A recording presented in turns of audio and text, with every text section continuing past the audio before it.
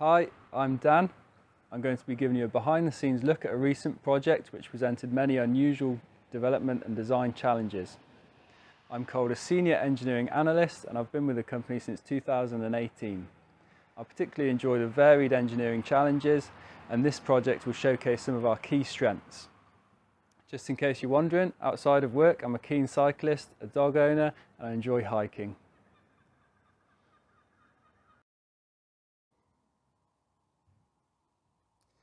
We were tasked by our customer with the design of a high pressure pump unit to replace a pump currently in service. This situation created two main challenges. Firstly, the unit had to be modular in design to allow it to be delivered to the platform and then fed through gaps between existing equipment to its final location. Here, it will be reassembled in situ. The design team had to make it as easy as possible to disassemble and reassemble to minimise the amount of time taken for these activities both onshore and offshore.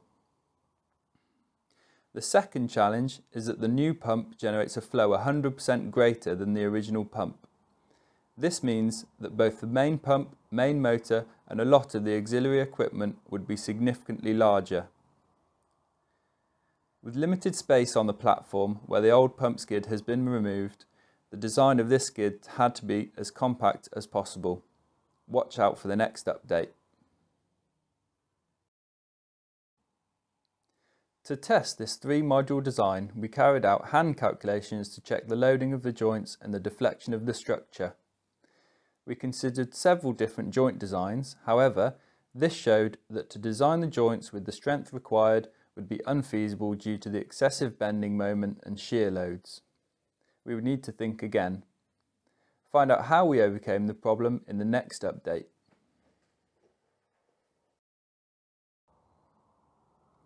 To overcome the issue highlighted in the last update, we needed to modify the base frame design. The solution was to use appropriately sized PFC beams along the entire length of the skid, with fabricated frames as cross members in between the two beams. This design was then created in Solid Edge, prepared for analysis in SpaceClaim, and then analysed in ANSYS Mechanical. The weight of the equipment as well as the torsion created by the driveline was considered. This modelling was supported and verified using hand calcs. The base frame has now been bolted together three fabrications as cross members and two side beams running the length of the unit. Planning ahead, the electricians have already started to fix in position the stainless steel cable tray. You will see that there are AV mounts fitted to the underside. These protect the deck and the platform by minimising transference of vibration from the unit. At the heart of every Calder well-serviced pump package is a reciprocating plunger pump. Most of our packages use triplex pumps, but due to the power of this unit, a quintuplex pump was required. These proven and robust pumps, which conform generally to API 674, are selected and configured to suit the customer's exact duty requirements. The pump fluid ends are manufactured from forged steel and are designed with easy maintenance in mind offering fast access to valves, packings and plungers.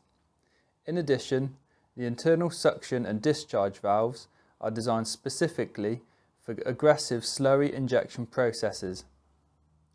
These valves have clear flowways with specifically formulated replacement inserts for resistance to acids and abrasives.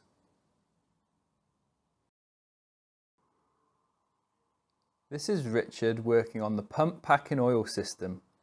Our packing oil systems deliver a fixed flow rate of oil, removing the need to adjust for different operating pressures.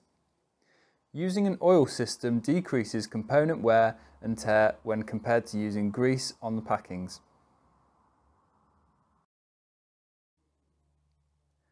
The coupling on this unit is API 671 compliant with the exception of a shorter distance between shaft ends. This allows the overall package to be as small as possible.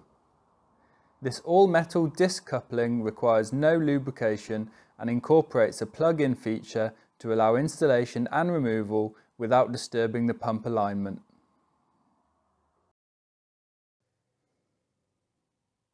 The unit needs to be designed to withstand blast loads. Particular emphasis is needed for the environmental enclosure. Should a blast event occur, the structure of the enclosure needs to ensure that no part can become a projectile. This was the second time ANSYS Mechanical was used on this project. Once the complete enclosure was modelled, the specified blast load was applied. The results of the analysis were checked for any excessive deformations and failures. Some minor modifications were required and these were checked with further analysis. Several iterations of this process were carried out and the results of the study were fed back to the design team to be implemented.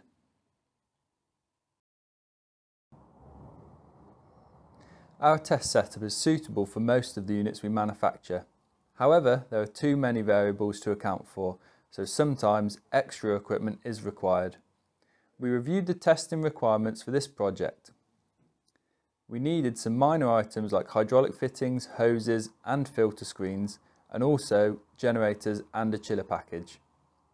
Our current setup includes an 1800 kilowatt VSD, flow rates up to 250 meters cubed per hour and pressures up to 4000 bar. See what equipment we used in the next update.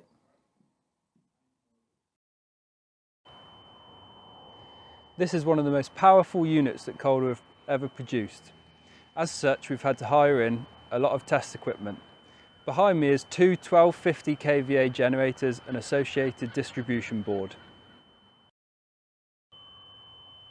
We've also had to hire in a complete chiller package which includes two chillers, which you can see behind me, with associated generators, a control system and heat exchangers. The chiller unit performs two tasks. The fluid we use for testing is water, which is recirculated into an atmospheric tank. Energy is put into the water by the pump and results in the water temperature returning to the tank increasing. At this power level, the water would heat up very quickly and boil. The chillers keep the water in the tank below the design temperature of the system. For ATEX testing, the temperature of the pump is monitored at multiple locations. Temperature stabilisation is required so that maximum surface temperature under normal operating conditions is proven. To enable this, the chiller unit has a control system which maintains a constant water temperature.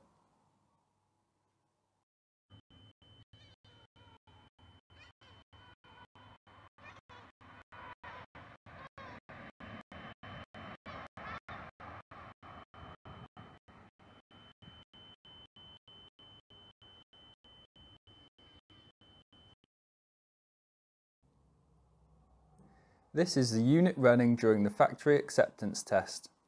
Due to a well-balanced machine and a thoroughly considered test setup, the pump ran with very little vibration and within the allowable noise limits.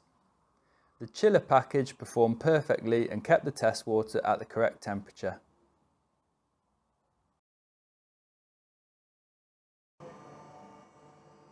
The unit has now been disassembled and these are some of the items packed up and ready to go.